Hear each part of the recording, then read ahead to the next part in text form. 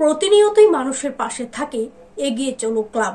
সেই অঙ্গীকারকে সামনে রেখে রবিবার এগিয়ে চলো সংঘের উদ্যোগে রক্তদান শিবিরের আয়োজন হয়। এই রক্তদান শিবিরের প্রধান অতিথি হিসেবে উপস্থিত ছিলেন মুখ্যমন্ত্রী ডক্টর মানিক সাহা। এছাড়া ছিলেন বিধায়ক দিলীপ কুমার দাস। আগরতলা পুর নিগমের চৌত্রিশ নম্বর ওয়ার্ডের কাউন্সিলর জাহ্নবী দাস সহ অন্যান্যরা। আমাদের ছাড়া আমরা কোনোদিন বাঁচতে পারব না।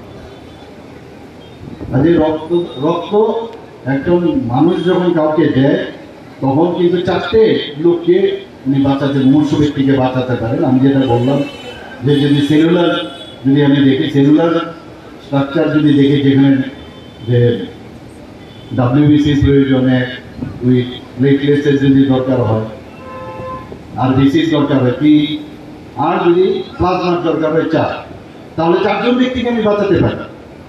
একজন রক্তদাতা চারজন ব্যক্তিকে বাঁচা পারে মানে ভাবা যায় না। সমস্ত এর জন্য বলা হয় যে রক্তে দানের, যত দান আমি বললাম এখন পর্যন্ত রক্তদানের নিচে সব।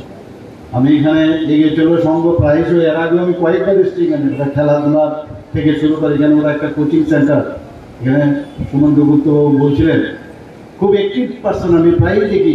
যখন যে কাজটা ধরেন